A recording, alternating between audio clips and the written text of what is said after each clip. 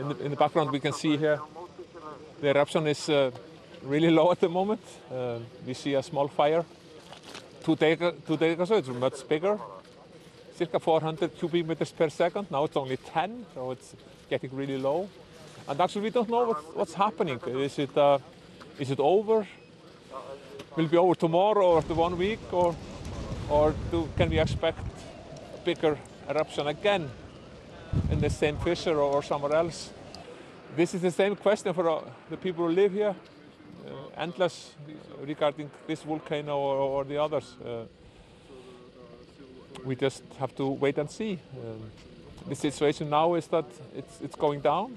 It seems like calm and the situation is steady at the moment. But that could be changed totally after a few hours. We, we never know. Wegen Erdbeben und hoffen natürlich, dass Innere Entwicklung jetzt vorerst erstmal bis zum 28.